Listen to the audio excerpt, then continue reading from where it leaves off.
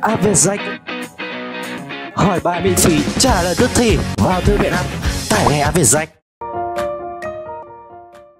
Xin chào tất cả các con học sinh thân mến. Chào mừng các con đã đến với khóa học trợ câu hỏi trong vở bài tập toán lớp 3 Tập 2, bộ sách mang tên Cánh diều.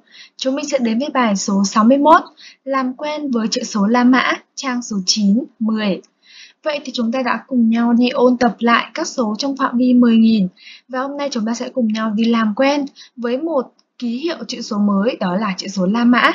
Vậy thế nào là chữ số La Mã? Chúng ta sẽ cùng nhau đi làm lần lượt các bài tập nhé.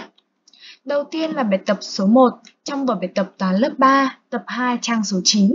Đề bài yêu cầu con đọc các số sau theo mẫu. Ví dụ, đây chính là một la mã, tôi sẽ đọc là số 1 đúng không nhỉ? Và các con sẽ cùng nhau đi nhìn các số la mã này rồi đọc ra các số. Vậy B, viết các số sau bằng chữ số la mã. Chúng ta sẽ viết các số 3, 5, 12 và 19 theo các số la mã cho cô nhé. Đầu tiên chúng ta sẽ cùng nhau đi làm từ ý A trước nhé. Đây là ký hiệu của, đây là một la mã ký hiệu của số 1 đúng không nhỉ? Tiếp theo, hai la mã ký hiệu của số 2 và đây là 4 la mã ký hiệu của số 4. Chúng ta sẽ nhớ cho cô nhé. Số 1, số 5 và số 10. Số 1 thì sẽ là chữ Y viết hoa này. Số 5 là chữ số V in hoa và số 10 là số X in hoa. Với số 4 thì chúng ta sẽ nhớ số 1 ở đằng trước số 5 đúng không nhỉ? Còn số 6 thì số 5 sẽ ở đằng trước của số 1 như vậy ta sẽ được số 6. Và số 7 thì cũng tương tự là số 6 rồi thêm một số la mã nữa, ta được số 7. Và đây, số 10 mà số 1 ở đằng trước số 10 chính là số 9. Còn số 10 mà có chữ số 1 ở đằng sau thì chính là số 11. Còn đây chính là số 10. Và hai số 10 tức là 20 đúng không nào? Tiếp theo chúng mình sẽ cùng nhau đi làm ý B. Đề bài người yêu cầu con viết các số bằng chữ số La Mã. Như vậy thì số 3 chính là 3 chữ Y viết hoa, đúng không nhỉ? Và số 5 chính là chữ V in hoa. Và số 12 sẽ là số 10 và hai chữ Y in hoa. Và cuối cùng là số 19. Số 19 sẽ bao gồm có số 10 và số 9. Như vậy thì ta sẽ ghép là số x này và số 9. Ta sẽ được x y, x. Vừa rồi chúng mình đã cùng nhau hoàn thành xong bài tập số 1. Bây giờ cô và con sẽ cùng nhau bước sang câu hỏi trong vở bài tập toán lớp 3, tập 2 trang số 9 bài số 2. Đề ba người ta cho con biết đó là mỗi đồng hồ sau chỉ mấy giờ? À, chúng ta sẽ cùng nhau quan sát. Người ta cho con tổng cộng là 5 cái đồng hồ và yêu cầu con tìm nhìn đúng trang xem mỗi đồng hồ sau chỉ mấy giờ. Vậy ở đồng hồ số 1, chúng ta thấy rằng kim giờ thì chỉ ở số 4 và kim phút thì chỉ ở số 12. Như vậy đây chính là 4 giờ đúng không nhỉ? Và đồng hồ số 2, kim giờ thì chỉ ở giữa số 8 và số 9. Kim phút thì ở số 3. Như vậy đây chính là 8 giờ 15 phút. Đồng hồ số 3 thì kim giờ ở giữa từ số 9 đến số 10. Kim phút thì chỉ ở số 6 đúng không nhỉ? Như vậy thì đây chính là 9 rưỡi, đúng không nhỉ?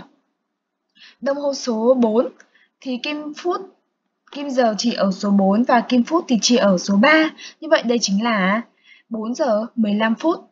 Và cuối cùng là đồng hồ số 5. Đồng hồ số 5 kim giờ thì chỉ ở giữa số 11 và số 12. Kim phút thì chỉ ở số 6. Như vậy đây chính là 11 rưỡi. Từ đó thì chúng ta sẽ cùng nhau đi trình bày như sau. Ở đồng hồ số 1, kim ngắn chỉ số 4 và kim dài chỉ số 12. Như vậy thì đồng hồ đang chỉ 4 giờ. Đồng hồ số 2 thì kim ngắn nằm trong khoảng số 8 và số 9. Như vậy thì kim dài chỉ số 3. Như vậy thì đồng hồ đang chỉ là 8 giờ 15 phút. Ở đồng hồ thứ 3, kim ngắn nằm trong khoảng số 9 và số 10. Kim dài thì chỉ ở số 6, như vậy thì đồng hồ đang chỉ 9 giờ 30 phút. Ở đồng hồ thứ tư, kim ngắn nằm trong khoảng giữa số 4 và số 5, còn kim dài thì chỉ số 3. Như vậy đồng hồ đang chỉ là 4 giờ 15 phút. Ở đồng hồ thứ 5 thì kim ngắn nằm trong khoảng số 11 và 12. Như vậy thì kim dài chỉ số 6. Từ đó thì đồng hồ đang chỉ là 11 giờ 30 phút. Vậy ta sẽ điền vào ô trống như sau. Đồng hồ số 1 là 4 giờ, đồng hồ số 2 là 8 giờ 15 phút, đồng hồ số 3 là 9 giờ 30 phút, đồng hồ số 4 là 4 giờ 15 phút và đồng hồ số 5 sẽ là 11 giờ 30 phút. Vừa rồi chúng mình đã cùng nhau hoàn thành xong bài tập số 2. Bây giờ cô và con sẽ cùng nhau bước sang câu hỏi trong vở bài tập toán lớp 3, tập 2 trang số 10 bài số 3. Đề ba người ta cho con hai ý đó là ý A và ý B. Đầu tiên là ý A, dùng que tính xếp các số sau bằng chữ số La Mã. Người ta cho con các que tính và yêu cầu con xếp các số 2, 4, 9, 10, 11 và 20 đúng không nhỉ? Bằng các chữ số La Mã và viết các số được em xếp được. Và ý B, hãy dùng que tính xếp rồi viết số chỉ tuổi của em bằng chữ số La Mã. Đầu tiên ở ý A, các con sẽ dùng que tính để xếp các chữ số đã cho bằng số La Mã. Đây là số 2 ta sẽ xếp hai que tính thẳng hàng với nhau, đúng không nhỉ? Và số 4 thì ta sẽ xếp một que tính thẳng này và hai que tính ghép với nhau thành một chữ V. Và số 9 thì ta sẽ xếp một que tính thẳng này, rồi xếp hai que tính xếp chéo vào nhau. Ta sẽ được số 9. Còn số 10 ta sẽ xếp hai que tính chéo vào nhau. Số 11 ta sẽ xếp hai que tính chéo vào nhau này và bên cạnh là một que tính thẳng. Và số 20 ta sẽ xếp hai cặp que tính chéo nhau đúng không nhỉ?